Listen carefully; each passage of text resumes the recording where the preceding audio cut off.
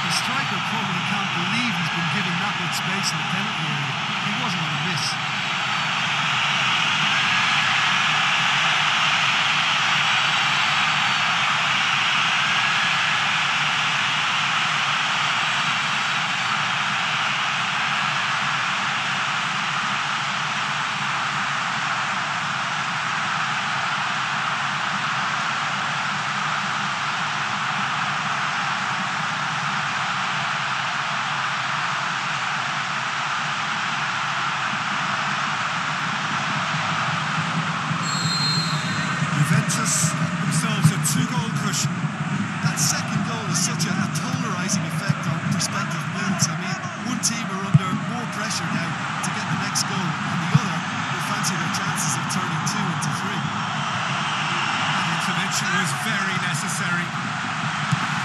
Navas. So what now? Chance to shoot.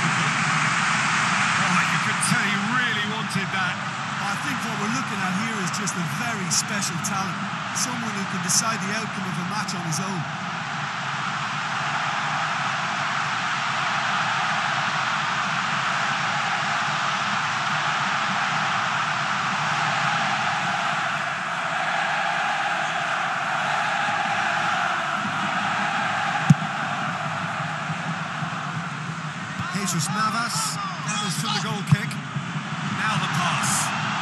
Let's Eto.